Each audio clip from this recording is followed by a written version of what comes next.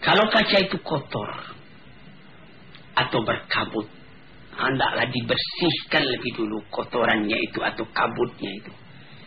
Sehingga jernih.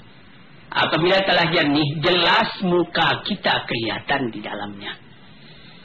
Maka kalau sekiranya kacanya sendiri kotor, berdebu, berkabut, terhalanglah kita untuk melihat apa hakikat yang sebenarnya daripada diri itu.